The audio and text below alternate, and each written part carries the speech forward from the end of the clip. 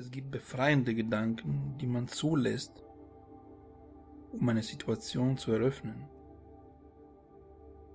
Wie ein Schlüssel, den man benutzt, um an die Freiheit zu gehen oder um jemandem zu befreien. Aber die Freiheit war schon immer dort. So jeder Gedanke ist nur ein Schlüssel, der auf oder zu macht.